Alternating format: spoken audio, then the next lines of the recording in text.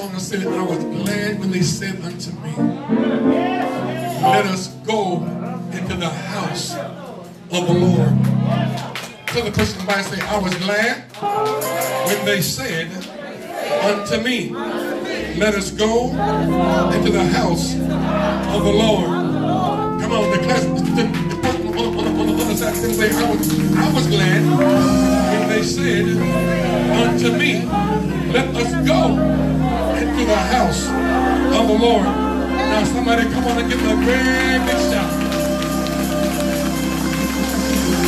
Give them a shout, somebody.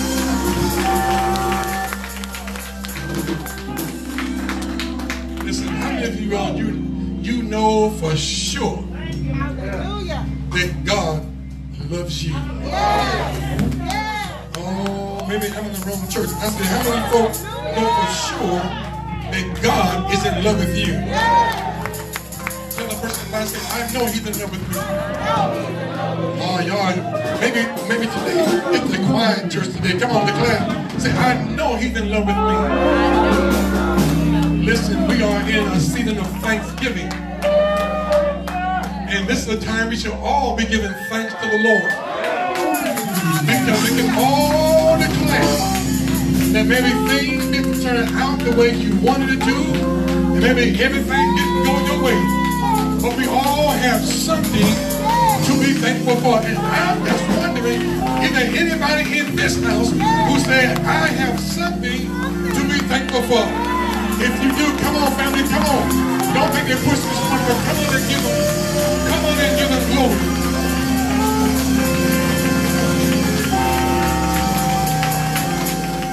Oh, thank God. I can think of a whole lot of things that I can be thankful for. Somebody said, Pastor, well, you don't get it. I, I can't think of nothing right now. Well, listen, he woke you up this morning.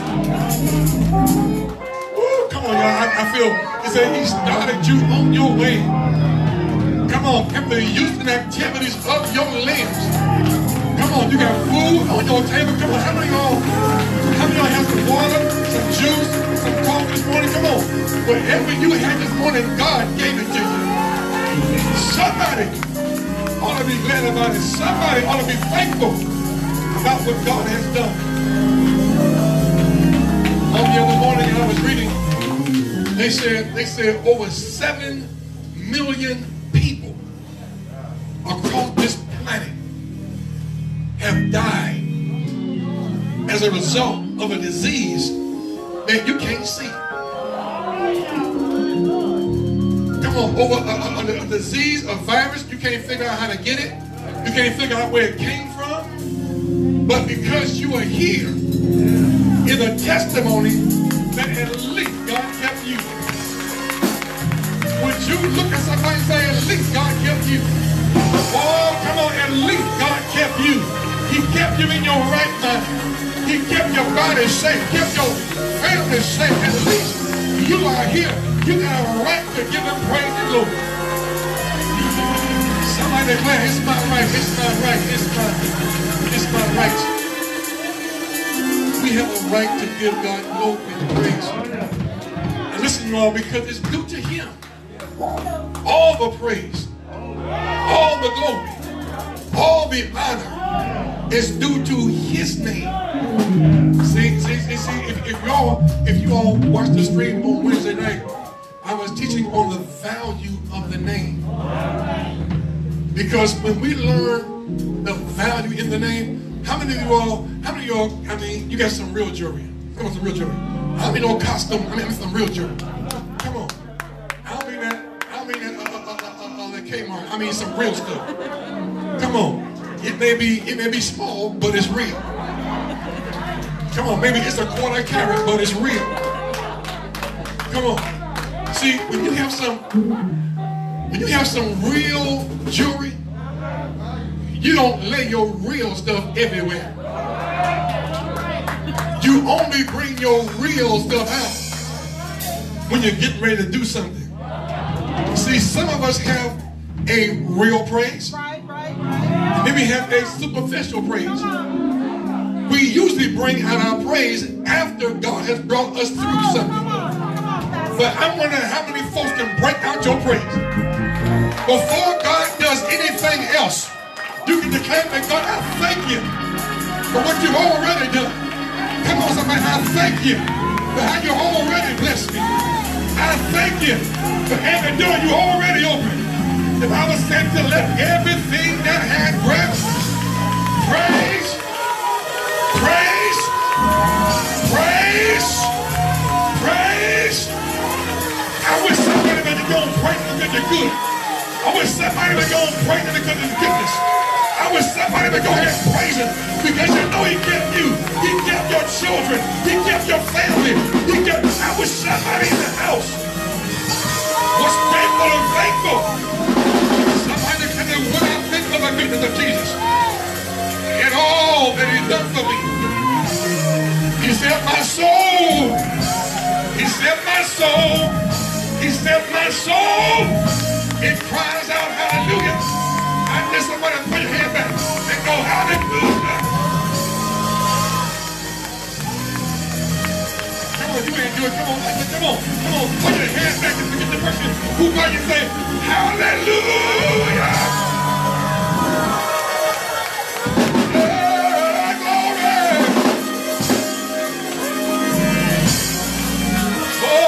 All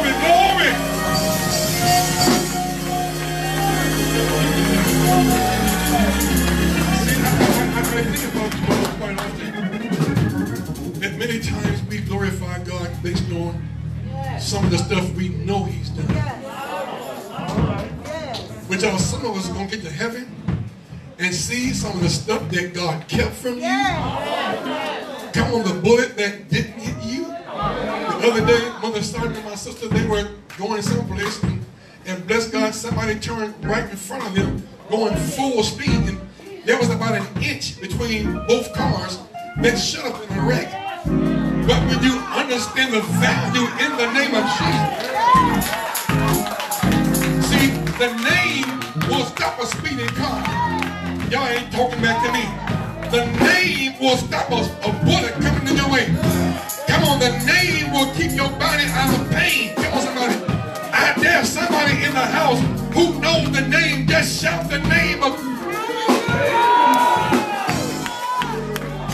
Would you tell the person, said the name is Jesus. The name is Jesus. For at that name, every knee shall bow. At that name, every tongue shall confess. Diabetes must submit to the name of Jesus. Leukemia must submit to the of Jesus. Cancer must submit to the name of Jesus. Poverty must submit to the name of Jesus. I wish somebody in the house for the next 30 seconds, come on, and give him a praise. Come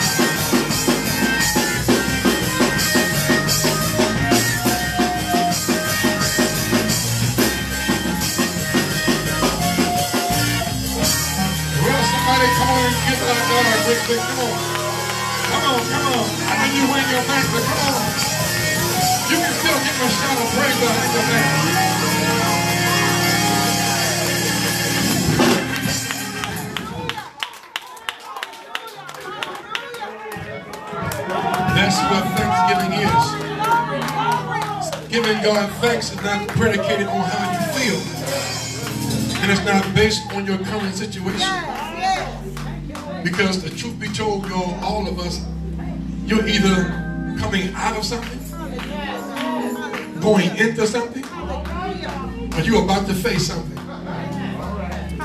And so it is what I learned to do in the transition. Someone wrote a song that said life is full of transitions. And if you can't praise God in the good time, you sure ain't gonna praise him when things get rough. I'm gonna say that again. I said if you can't praise him in the good times, you not gonna praise him when things get rough. Hallelujah. Someone said, they said that practice makes perfect. But that's not reality. Perfect is perfect practice. Oh, that's good. That's good. And so when I praise perfectly in a good time, my same praise will carry over in a hard time. Let me see if I can say it like this. I'm not sure how many of y'all ever been on a cruise. But the cruise can start off nice and on quiet seas. But they don't put the boat in park. Because the storm show up. They either find ways to go around the storm, but they don't ever stop in the storm. Would you tell somebody and say, don't stop in the storm, stop in the storm? Because what got you here, see, oh, thank you, Lord, oh God. See, sometimes God uses the wind in your life to blow you to the place He really wants you to go. And what many of us are doing is we're resisting the wind. And God said, no, the wind is really your friend. Because it is designed to blow you to the place I've ordained for your life. Here's a problem, y'all. Sometimes in a storm, it don't look like there's destiny in the storm. But someone in the class said there's destiny in the storm. And so, I will praise you all is the one thing we can give to God. I've said it before, I'm going to say it again. The, the praise is the one thing we give to God that God does not give to himself. We cannot be consumers of just the word only. Because that means we only came and got what God had for us. But the question is always, what did we give back to God? Ask the person I said, what did you give back to God? Because here's what I, I, I know. Brother Corey, I can tell when folks praise God during the week. Because when I praise God during the week, it's not hard to get in to get in praise and worship on Sunday morning. But if I'm so focused on the week on what I'm going through, when you come to church, you want somebody to push you through what you come through. But watch this, you can't birth a baby without labor pains. And sometimes you gotta praise God in spite. I'm, I'm gonna preach that right now. You gotta do what you got to do. Don't matter what you've been through or how you feel. You gotta just do what you gotta do. Do me a favor, make the person by your word. Tell me, say, neighbor, for the next 20 seconds, For the next 20 seconds, I'm getting ready to holler. I'm getting ready to holler. And I'm gonna scream. And I'm gonna wave both hands. Because right now, I'm thinking about what God done for me. Right now, I'm thinking about God's goodness. Right now, I'm being faithful. Right now, I know what God did.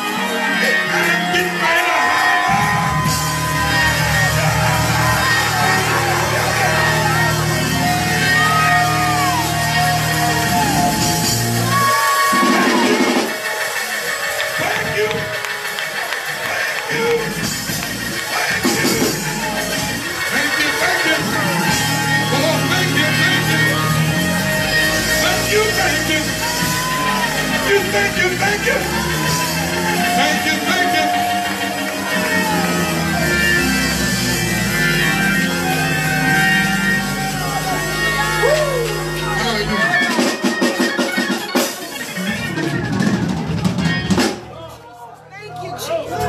Praise you, Jesus. See, your praise might get the person by you a breakthrough. Because you think your praise is just for you.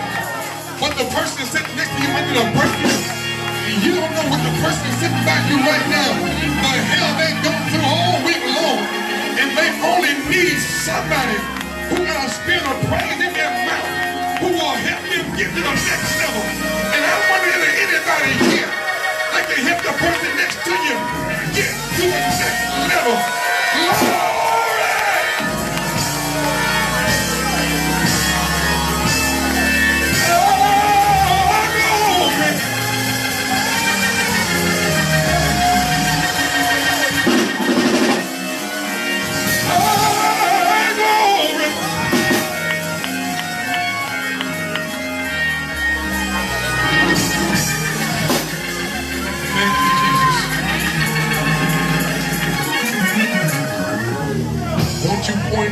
As many folks as you can tell them, I'm grateful, I'm thankful, I'm grateful, I'm thankful. Come on.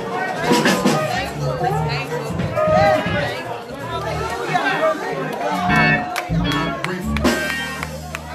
I'm grateful. I'm grateful for everything God has done. For every deliverance, I'm grateful. For every time God rescued me, I'm grateful. For every time the bullet did not hit me, I'm grateful.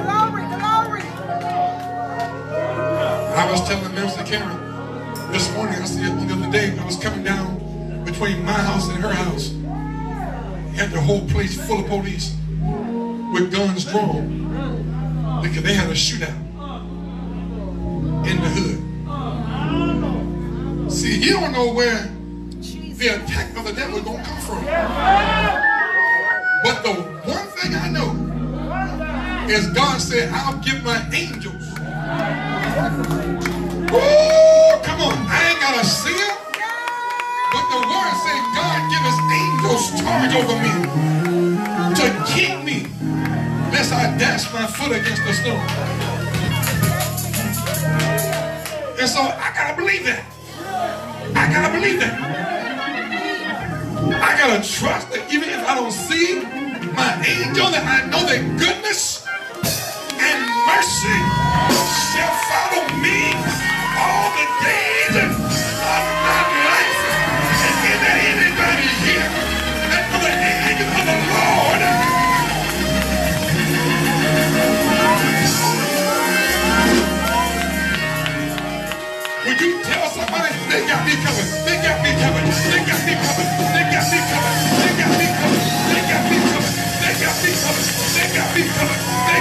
coming. They got me coming.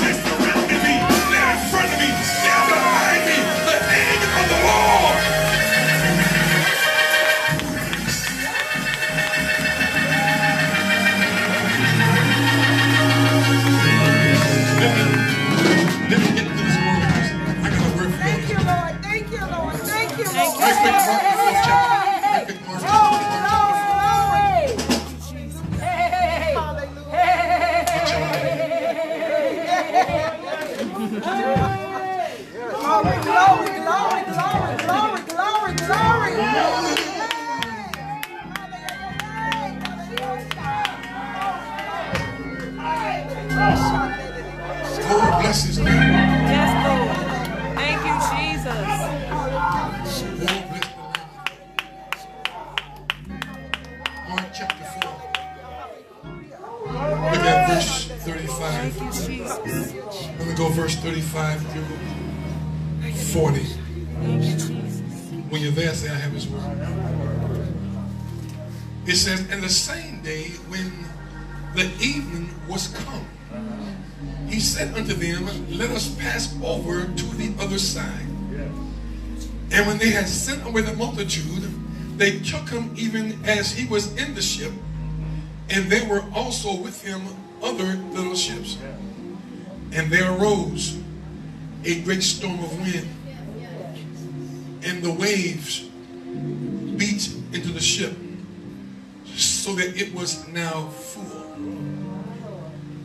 And he, meaning Jesus, was in the back part of the ship, chilling. And they woke him and said unto him, Master, I'm gonna go old school. Master, what a dope.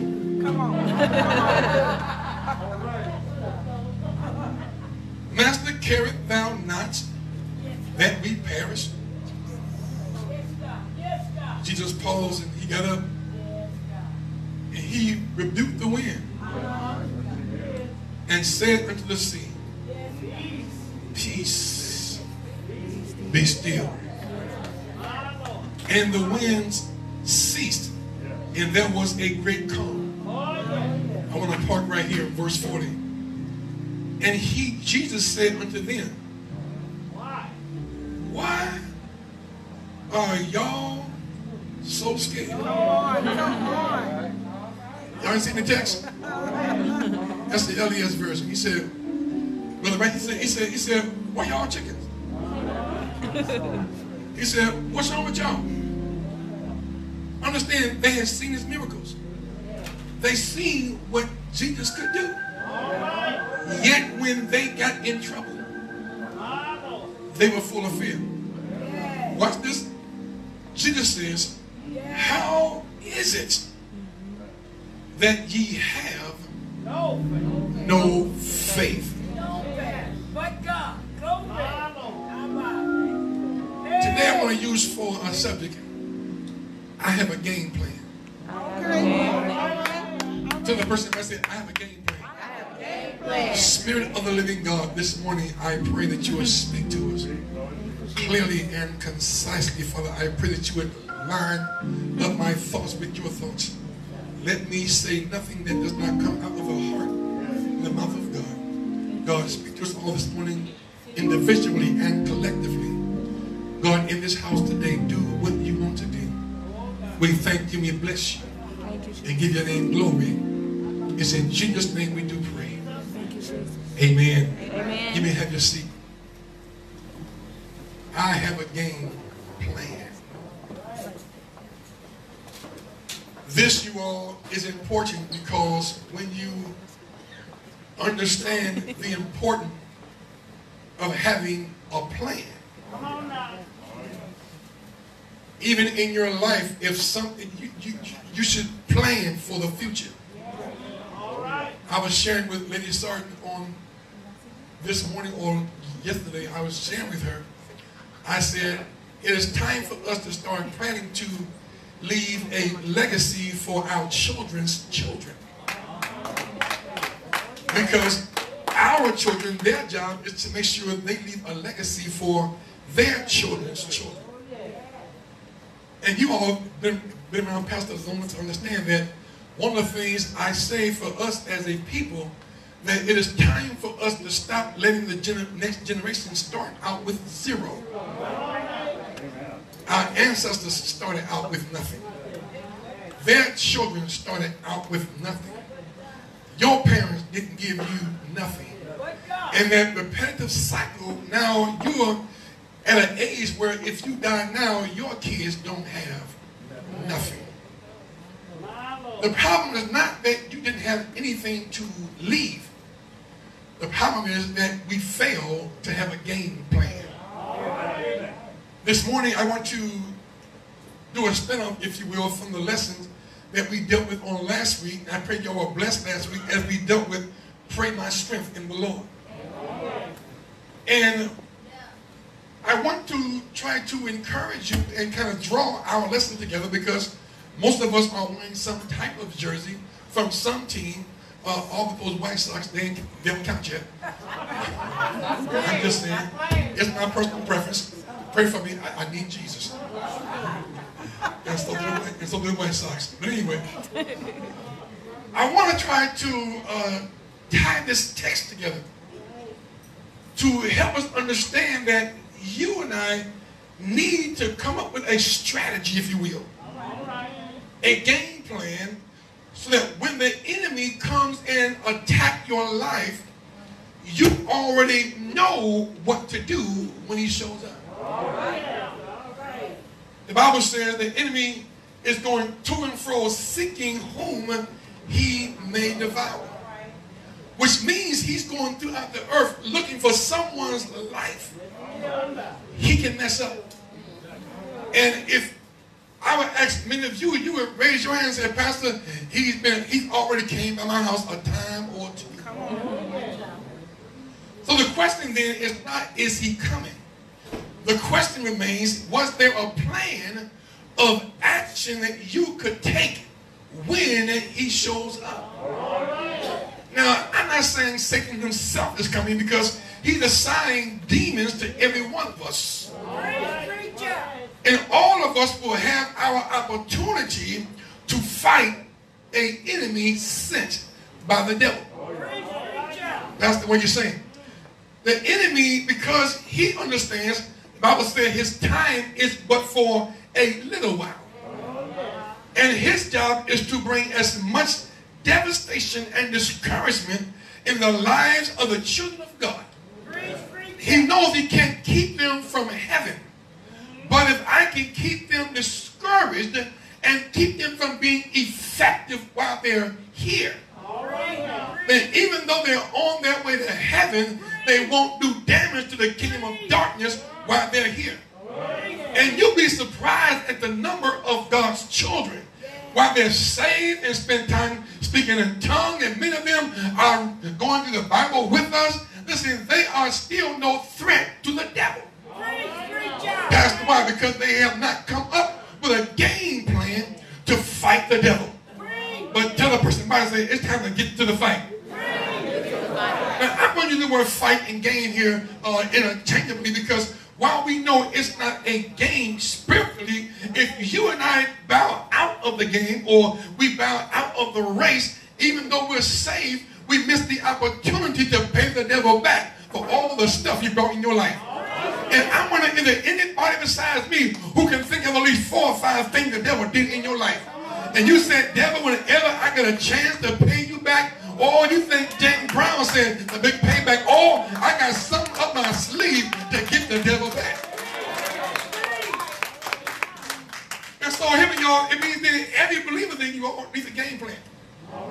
Because you cannot wait until your life turns upside down. To the side, you're going to pray. You can't wait until your life turns upside down to the side. I'm going to get into the Word of God. You can't wait until your life turns upside down and you're not in poverty to decide, well, I guess I'll tithe now. Because we want to make God our, our, our good humor man. And every time we get in trouble to bail us out when we didn't follow the game plan all along the way. The writer of Psalm 34, 19 declared this. He says, many are the afflictions of the righteous. He said, I don't care how saved you are, how much you speak in tongues, you can prophesy until your hair fall out. When it's all said and done, you still gonna go through some stuff. Somebody just said, Pastor, I know that's right. He said, you are still going to be attacked by the enemy, but what he says, he said, but the Lord delivered him out of them all. In other words, he says, God got a game plan. Woo! Anybody glad God got a game plan? See, God had already planned to bring you out before you got in. Pastor, can you prove it? That's why he said, with your stripes you are healed. You're saying, Pastor, but I ain't sick yet. Because the game plan is, whenever he attacks you, you better know you're already healed. And because I know I'm already healed, when the enemy comes to attack me, I can pull out my playbook and say, devil, hold up, wait a minute. You ain't seen page two, paragraph number three. He says, with his stripes, I'm already healed. Somebody can say, I'm already healed. Look at it, you are in the TLB version. It says, the good man does not escape all troubles. You can't be that good to escape trouble. You can't pray hard enough to escape trouble. He said, but he has them too. But the Lord helps him in each and every one. Let me give you the LDS version. Every time I get in trouble, God is always right there to help me get out. See, the Bible says he's a present help in trouble. Y'all missed that. He's a present help in trouble. So every time I find myself in trouble, don't look for the devil. We know he's there. But look for God. Because we spend so much time trying to see where the devil is. Listen, if you saw him, you wouldn't know him. Bible says he's a, a wolf in sheep clothing. He comes in as an angel of light. So even if you saw him, you wouldn't know him. See, what's this? Y'all, devil is saying he is not going to show up in a red suit. Pitchfork. Come on, big old pointy ears and a long tail. Because then you would know who he is. Devil gonna come at you smiling, winking, smelling good, but he got a whole bag of tricks. And those tricks are designed to bring havoc in your world. See, because the devil is always strategizing. He's always trying, trying to find a way, watch this, to find out where your weak point is. Many of us, you all, we spend time strengthening our strength, but never spend as much time strengthening our weaknesses. Notice this. The enemy, when he attacks you or attacks us, he always attacks us, watch this now, right here, in the same area. Look at your life and find out the area the enemy attacks you in and look at the last place he hit you and then go backtrack. Preach, preacher, preach. He got me here last week. Wait a minute. Same place last month. Hold up, wait a minute. The same place in January. And if you will look at the enemy's track record, you will see that he's going for your weak areas. Because the devil knows he can't hit you where you're strong. But he finds the weak areas of our lives and hit us in those areas. Why? Because he knows that if I keep hitting him in those weak areas, that's the place he's most effective. All right. Preach, preacher. See, watch this. Over in 1 Peter 5 8, in the ERV translation, he says, Control yourself and be careful. The devil is your enemy. And he goes around like a roaring lion, seeking for someone to attack and eat. In other words, the devil is trying, watch this, to not just hurt you, he's trying to consume you. You said, Pastor, now the devil can't physically eat me. Listen, if he's got your mind, he's got you. Come on, if he got your emotions, he has you. If he has your thought life, then he has you. And many of us are not aware of his devices. But he's always hitting the wrong at the same place. At the same place. The same weak spot in our lives. Uh-huh. See, see, there was a time, a season in my life, you all, that when when I got married and Lady Carol, I knew someone was gonna come and try to hit on the boy. Oh, I didn't go to for y'all. I, I was saying, she know what? I said, when she would get mad at me, the devil would hit me and bring somebody to hit at your boy. Because the devil knew that if I was mad at her and she wasn't cooperating, he was going to send somebody who would cooperate. Come on, Pastor. And it, we shall be real in church. And it would be up to me to stand strong under that pressure. And how many of you know that when you're lonely going through a rough place, it's hard to say, can I get some real folks in the house this morning? Because if God will pull the cover off of some of y'all up in here,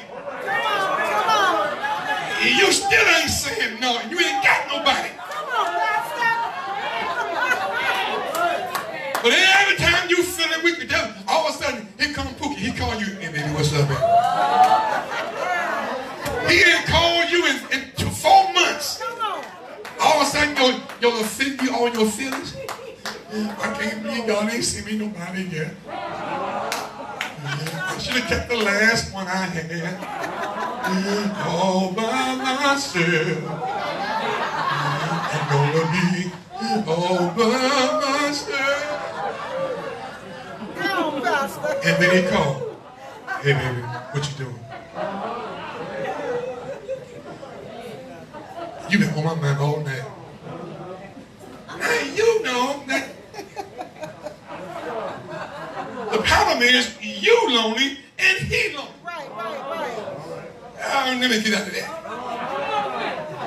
And the devil knows that if I am going to steal victory in your life, I can't come at you in your strong area. I got to hit you in your weak area. See, we don't see in the old school church, they told us don't do it. They didn't tell us why. They said don't do it. Here is the reality. What makes us fall out of a place with God is our emotions. And when we think we are missing out on something, the devil said, oh, see, see, the devil kept a good record of what you like. You ain't talking back to me. He knows you how you like her. He knows how you like her. He knows how you like her. And as soon as y'all fall out, but have you noticed though, he generally send you one who looked just like the last one you broke with. Come on, come on, Pastor. And he keep moving, keep moving, keep moving. See, see, I recall a season you all, a season when the Bears, the Bears had a a a a, a, a, a, a jacked up O line. That's offensive line. They had a jacked up offensive line. That's when Cutler was playing. You want to cut? Oh Lord, see you on a Cutler. See. Ooh, I ain't never like Cutler anyway. I pray for him. No, bless him. I'm gonna give you my jersey. You can have a church. But they had a their right side of the offense was awful. And every time a good defense would play against them, they would stack to one side where all the weak players were. Because they knew if I kept pounding at the weak area of the O line, I could take the quarterback out, and the quarterback could not be effective. And even though Cutler had a good arm, he could throw. But if somebody's in my face, I can't do my job. The devil knows if I can stay in your face and keep hitting you in your weak areas of your life, that I don't care how saved you are, how much you speak in tongue, if I can stay in your face and keep hitting you at the weak area of your life, you will never ever be effective. Yes. Amen. See, there ought to be a no already in your game plan. Already. Already. Woo, got quiet there, Lord. Uh-huh. Only the folks over 70 said amen that one, Lord. But I'm going to say it again. There should be a no already in your game plan. Because if you keep falling every time the devil brings the same thing to you, you're going to always come on, Lord, I'm sorry, I did it again. Well, that, that's time 2,335. Come on, beside me. How many of y'all missed God more than once? Okay, I want to jump. How many of y'all missed it more than 10 times? How many y'all lost count? I can't get a talk back church today. But the one thing you do know that if I keep falling for the same thing in my life, then it's up to me to identify the weak area in my life. Devil, you may, you may have got me the last time, but that was the last time you got me. My hope is built in the Word of God, and if God can strengthen me in the area, I am going to look to Him to deliver me in the area of my weakness. The devil loves to cause you all disruption in my life. To keep us from advancing in the thing that God has called us to do. And I believe by the Spirit of God that all of you all want to please God with your life. But what do you do when there's no game plan? When the enemy comes and challenges your money. See, I've seen folk who have not tithe all year. And as soon as they're about to get put out, now they want to tithe. And then tithe two dollars. And they make a thousand dollars a week. But give God two dollars and say, God, here's my tithe. Now you know and I know the principle of tithing is 10%, not 1%. Come on, Pastor. But if God were to give you what you put in at a time, you blame God. And God said, I'll give you what you asked for. You say, that's all I got. That's all I'm going to give you. That's good. Since I'm here, since I'm here. Do y'all see the power of God? God is the one who gave you the job. God is the one who gave you the money. See, your, your gift, your offering, your job is for your seed. Your job is not your source. Your job is your seed. And when God allowed me to get a job, it's to sow a seed in the kingdom so I can live by the kingdom system. Somebody say, I live by the kingdom system. Come on, can say, I live by the kingdom system. See, I don't have to make a whole lot of money to live good. Because when I live by the system of the kingdom of God, He always opens doors. He always makes ways. He always calls somebody to give into my bosom. He's always making a way out of no way. He's always providing. He's always keeping. He's always covering. He's always there to make sure that every one of my needs Thank you, Lord. How many folk in the custody? He keep on make, making a way. Over and over. Oh, over and over and over and over. All of my life. he's kept on making a way. Thank you, Lord. So what the enemy do is doing, is doing wrong. It's trying to shut, shut down. Watch this. He is shooting the gaps in our lives. Trying to cut you down. He is shooting the gaps in our life to cause us to lose. But I decided a long time ago that I hate to lose. I hate to lose. I don't know if y'all ever heard my story. See, see, right now I'm 6'2 and a half and I'm 250 pounds.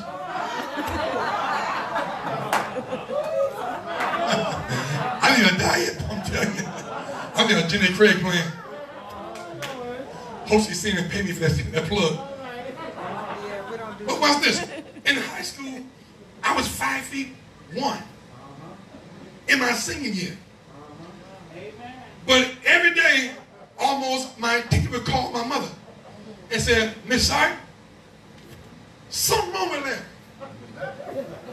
He fight these big boys. They gonna hurt him. But I, I wasn't bad, I was good. But I ain't mind fighting. I'm just saying what I'm saying. I had a case of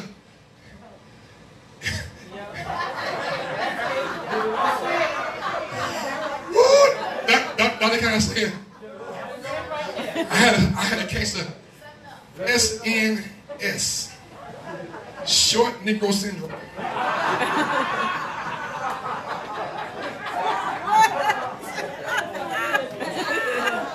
Shot it and mind fight. Because the who football was, was coming from my head. I be in the hallway. They find something and go, hey, sorry, but what? Pow. Okay. Here's my point. At some point, I decided I ain't losing this fight no more. I came to school that day and said, the first one hit me. I'm going to knock another flight of steps. Come on. I did. I didn't care. Went to the washroom, got about six four, hit me in the back of my head, slapped the bejesus out of me. And before I knew it, I turned and I lit him up. Knocked him on his Debbie area. We didn't fight no one that year. Here's my point. When the devil knows where you're weak at, he'll fight you in the same spot over and over and over again. Or maybe come a point you gotta stand flat footed and say, devil, you got me the last time, but you ain't getting me no more. I messed up. I failed God the last time, but I'm not failing God no more. If I fail, you may get me in this area, but you won't get me here no more. No more. That's good. You know, for all you all who have running faucets in your bathroom, go home and look where the water runs in your bathroom. You will see a, a, a indent in your, your porcelain uh, tub. Water is soft, but if you hit the same spot over and over, every day, day in, day out, it'll wear a hole in something that that, that's designed to hold it. The devil knows if I stay in the same spot over. Because even though you may get through it today, he's coming back.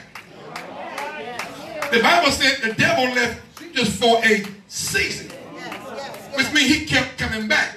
And because you didn't do it today, don't mean he ain't coming back tomorrow. So when you have a game plan, devil, I'm not going to fall for that okey doke no more. Paul asked the question over in Galatians 5. Paul said, You did one well. But who hindered you? Here it is that you should not obey the word of God. What's keeping you from obeying the truth? Can I tell you what it is? This stuff right here. We call flesh. Here is what the devil does. Well, the curse, the devil works with our desire. He will create a desire that he knows you desire. Find the right time to intensify that desire. And when that, that desire is intensified, you find yourself like a lion on the prowl, trying to satisfy the hunger of that desire. And the devil always has a yes person waiting to fulfill that desire. I'll prove it to you. Any of y'all ever seen a real pretty girl? She fine, she want to be, but she was with some real ugly joker. Yes. I know I ain't the only one. Yes. You like, girl, you fine with that. That, boy here booger. Yes. He a booger personified. How in the world? But you notice though, when you know it, you don't care what you get. Ooh, I know him in the house. I can't figure out how I got over him this. But you're saying something, It ain't even, even, in my nose, George. Come on. The devil don't see the, y'all, the devil, Oh God. The devil does not care. All he wants us to do is to get out the game. And it's hard to praise. And I know I ain't been in the game book all week. It's hard to praise. I'm not stuck the game plan. It's hard to get in the game, but I know I've not read the game plans all week. Ask the person might say, have you been in the game plan all week? So the, so the question is, what happens while you're injured? Because if you're in any game, there's a possibility of being injured. I don't care whether basketball, football, soccer, hockey, there's always a chance of being injured in the game. But watch this.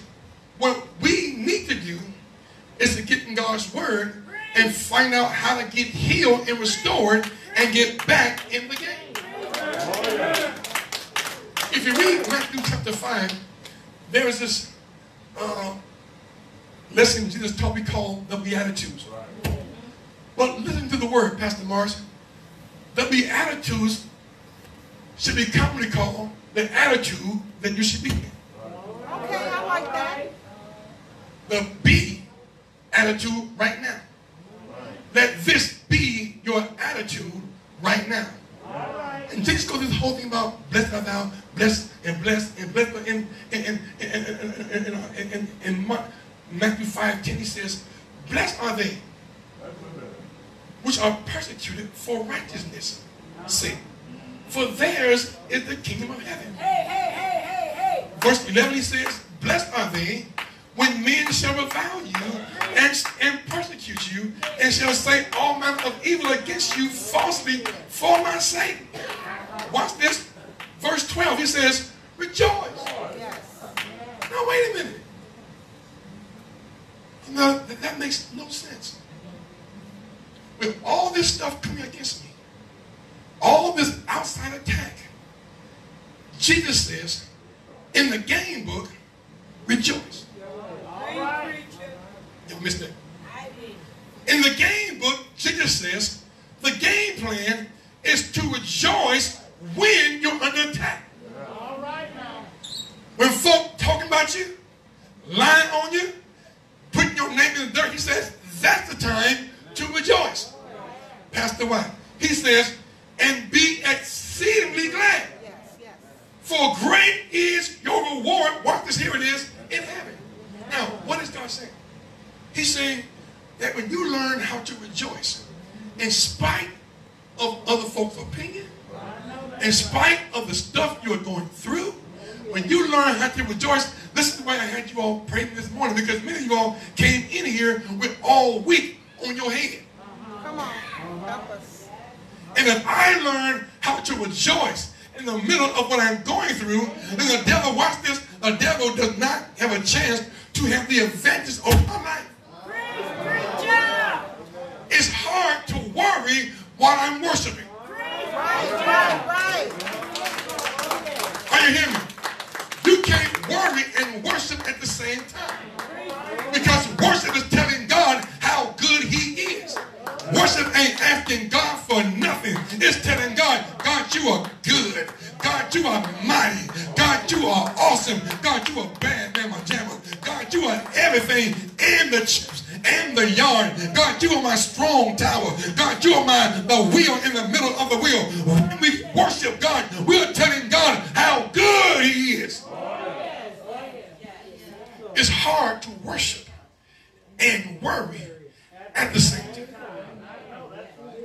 Because if my mind is stayed on him, then it's impossible to be worried when the person I'm worshiping is over my words. Right, right, right. Ah, let me see if I it like this. See, if you're worried about money, the God who owns it all, if I am worshiping him, I'm telling him, God, I thank you that you own the cattle on a thousand hills and everything on the hill belongs to you. And because I'm your child, you got something on the hill that's designed to bring a blessing in my life. Why? Because I worship the one who owns it all. Somebody said he owns it all. And if and since he owns it all, and he does, when I worship him, I'm telling him, God, hold up, I'm in covenant with you. Somebody said, I'm in covenant with God. Come on, let's say, I'm in covenant with God. Would you tell the person, say, I'm in covenant with God. Pastor, what does that mean? See, a covenant means that we are tied together. And the only way it can be broken is if one of us die. A covenant is a lifetime contract. You know, like when you got married, you said for better or for worse. But then you want to bow out because it got worse. Come on, come on. That's good, Pastor. You're the one saying better for worse. You thought you thought worse wasn't gonna come? Where are my married folks? How many folks know that, that sometimes worse shows up? It shows up. Come on, after sometimes at the wrong time. Come on, I love you, but I don't like you right now. Jesus says to rejoice, here it is, verse 12, and be exceedingly glad, for great is your reward in heaven. For so, here it is, so persecuted the prophets which came before you. But drop down to verse 44 in the same chapter. He said, but I'm telling you, here's the game plan. He says, love your enemies. The amen's going down some more, Lord. I got to change the churches, Lord. He said, love your enemy. Here it is. Bless them that cuss you.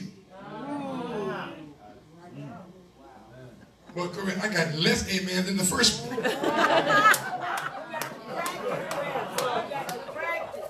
Because if you cuss me, what cuss is that? Get in there. Get in there. Put your hand it down. Keep it down. He says, do good to them. Here it is. Watch this. Do good to them that hate you. And pray for them which despitefully use you and persecute you. Now, here's the plan, Tracy. Watch this now. Verse 45. That ye may be the children of your Father which is in heaven. He says, if you're going to be identified as being related to me, you got to learn how to love folk when folk don't love you. I learned a long time ago, you can't make folk love you. Baby, I love me enough for both of us. If you ever decide you don't love Larry, Larry love him some me. And when I don't love me, that girl right there love me a lot. Amen. Amen. So when I'm feeling some kind of way, she said, I love you, baby. I said, bless him. Come on, somebody. He says, that ye may be the children of your father. So here's my question then. Then whose game plan are you reading? Whose game book are, are you reading? Because if every time I'm attacked, I get off the game. You ain't gonna ever win. And watch this.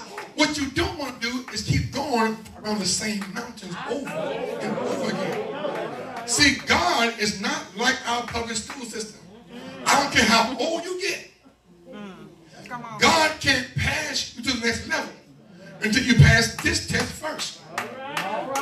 And if you're like your pastor, I God is going to advance my life, I gotta at some point I gotta pass this test. Ooh, tell the person by and say, we gotta pass this test. Oh, let me help you out. You got baby, you either pass it or be here tomorrow. You'll be here next week. You'll be here next year at the same place. Come on, God win. When you advance me, God, I'm not. You keep failing. Come on, come on. Here's the problem, wrong when you're injured. I'm almost done. Write this down. Injury often leads to insult and isolation. Injury often leads to insult and isolation. Injury often leads to insults and isolation. This is why it's important to stay connected to your church. Because the enemy wants to get you by yourself. And it is amazing, you all, when all this stuff broke out, the first thing they said was only go to the places that's essential. Some of y'all need to be in church. I'm sorry, I need to be in church. Come on, with all the hell I'm going through and dealing with, I need to be in the house of God to hear a word from the Lord. Help me get through the stuff I'm dealing with. Yes, yes. And so the devil takes that injury and he adds insult. And then what you do is run and hide, and now you're somewhere being all by yourself. Watch this. Notice the pain does not change because you leave. No, no. Come on. If you watch football, they often they'll either have the guy who's injured on the sideline, under a blue tent, or take him back to the locker room. But even if they come back to the field, mm-hmm. if they are injured, you will see them someplace mm-hmm. On the sideline. on the sideline Oh, yes. by themselves. Mouth poked out. Come on, got concussion. Now I can't play. I'm on concussion protocol. I'm here, but I can't play. Watch this. There's some church folk who are here, but you're in the game. Come on, you're in the church, but not in the game. Come on, you're in the church, but you don't, don't have the church playbook. Have no clue what the vision of the house is. And so what happens is that person now who's on the sideline, who's sulking because he he or she cannot be in the game, now they're angry and now they're insulted because they can't get in the game. What has happened that's turned you from the love of God? All right. Paul says, I'll let nothing separate me from the love of God. It's not that you won't leave God, but Paul said God will never leave you. Somebody said he'll never leave me, he never leave me. Watch this. Because if you would allow an injured player, watch this now, allow an injured player to come back in the game, here's what will happen. They will disrupt the flow of the game plan, trying to get back at the person who caused the injury. And how many of us have had someone in God's house to attack us? We leave for a season, come back to church, and spend all of our time trying to get even with the person who hurt us. Let me help your theology. On the third page of the playbook, it says this Vengeance is mine, said the Lord. Well, we, listen, because when you retaliate against somebody, what you're doing is sowing a seed. Oh, I'm going to say that again. If I retaliate when God says, let me handle it, but I take things into my own hands, all I'm doing is sowing another seed for something else to come up in my life. And I don't know what you all, but I got enough stuff to pay for. Uh, somebody say, Pastor, I know that's right. Because sometimes between isolation due to the penalties we receive, we often find ourselves getting an unsportsmanlike conduct flag. Come on, Pastor. And how many flags have come up in your life? Unsportsmanlike. Pastor, what's that? That means when I should be in the game, but I won't even speak to my brother.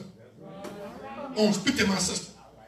Listen, now, truth be told, all of us have done something bad enough to, that the folk don't ever talk to us again. Amen. But do you think I'm going to allow my enemy to tie up my life over an offense? If I forgive them, I free me from the offense. Y'all hear me? I know y'all been a hoop. I, I got to be free in my mind.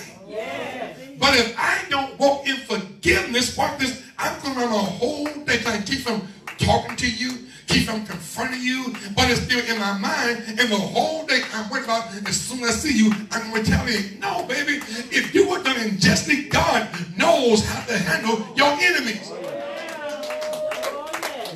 Someone say, God knows how to do it. I'm going to give y'all four things in four minutes. Then I'm done. All right now. Write this down. Number one, the assassination attempt came because of your assignment. I'm going to say it again. The assassination attempt came because of your assignment. All right. The text says, Jesus says, let us go to the other side. Mm-hmm. Jesus had them on assignment.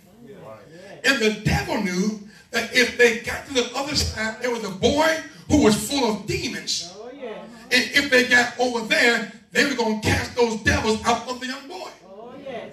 And so the devil said, what I got to do is attack them here.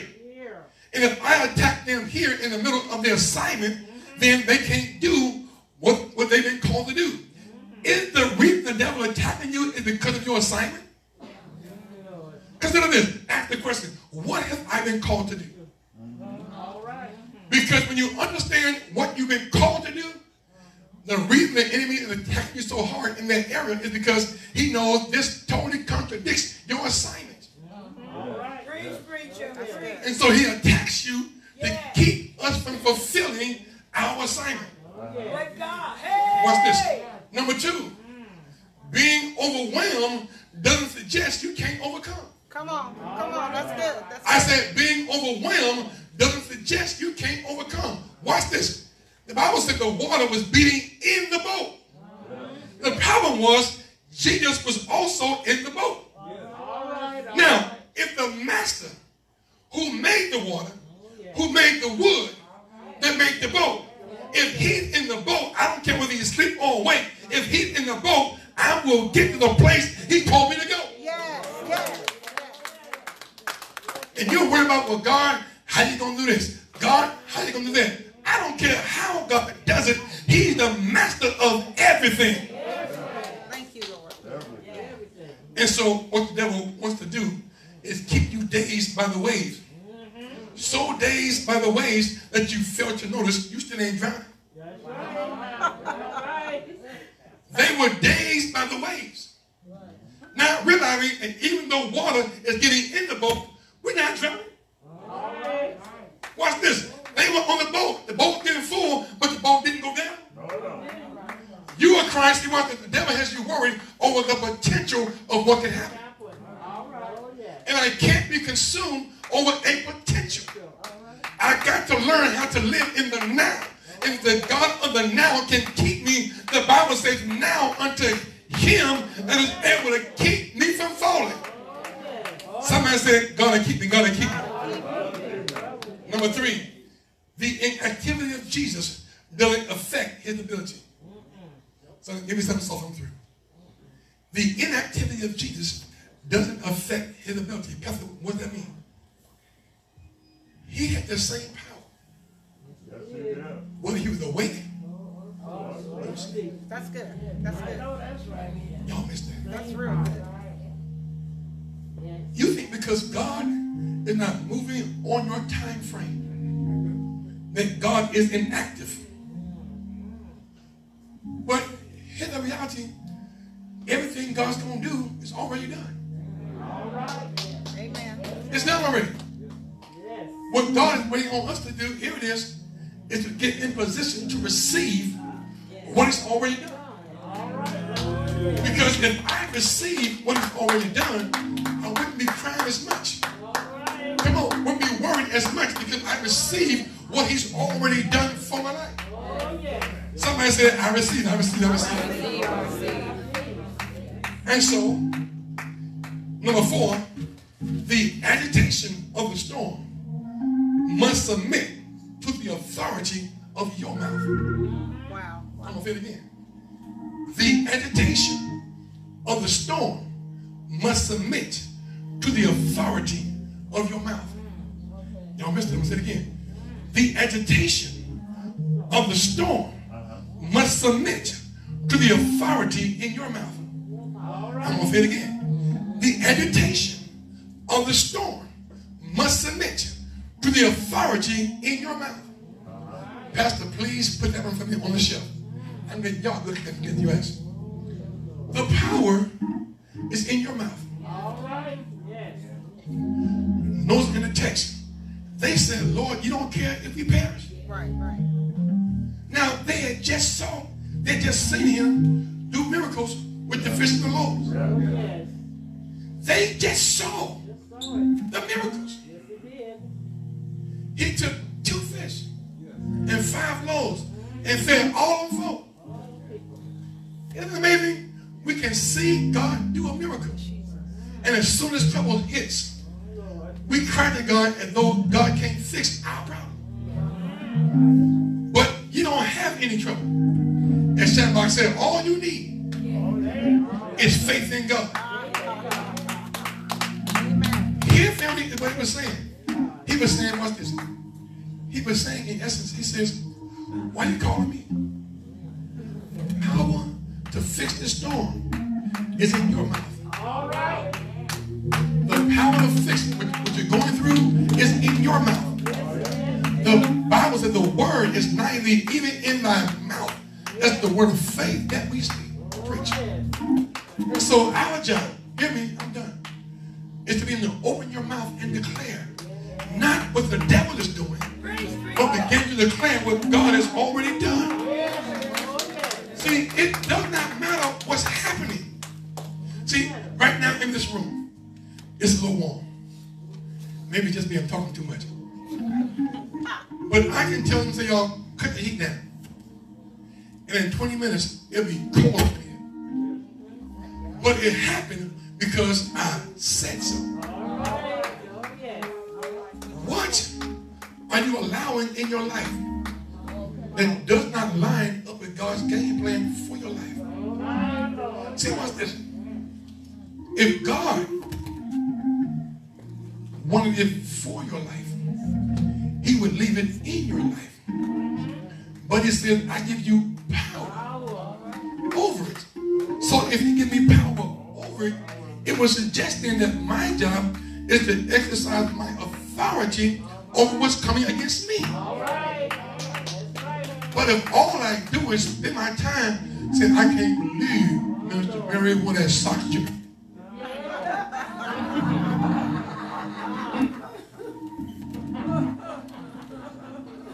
It, get home and set it on fire, baby. Set it on fire. I'm saying what I'm saying. Set it on fire.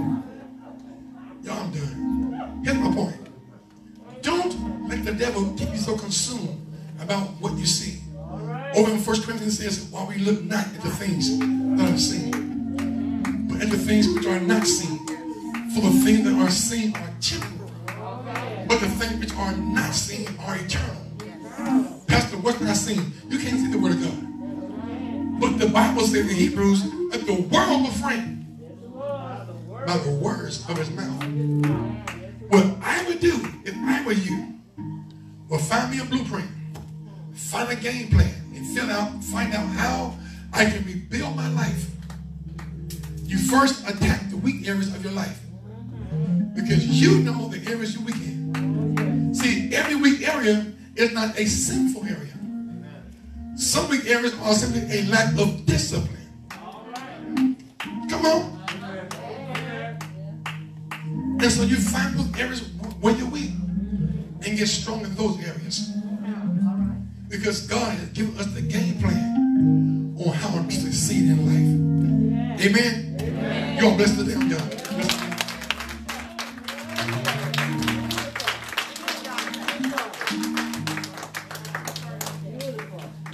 Let's pray. Father of heaven, I thank you for this time of sharing your word. Father, it is my sincere prayer that the word was not only heard, but it was received. And Father, it is my sincere prayer that the word that was heard and received, give us to respond to that word and to do the word, not just be hearers only. And I pray, God, that as we build ourselves up in the weak areas of our lives and begin to follow the game plan that you set before us, we'll find prosperity, we'll find deliverance, and we'll find wholeness in those areas. I pray, God, for these your sheep. God, many who are struggling. God, I understand struggle. Many are fighting themselves. I understand self. I understand God, but I pray in the name of Jesus that you will strengthen them in every weak area. Every man, woman, boy, or girl, strengthen them, God. I curse the hand of the adversary who will come to steal, kill, and destroy. We curse his plans. We curse his assignments and binding useless in our lives. And we call forth you, Father, the glory of Almighty God. We call upon the Spirit of the living God to strengthen us in every weak place. We thank you for it in advance. It's by faith in our risen King. We call it done. In Jesus' name we do pray. Amen. Family, come on, give God praise.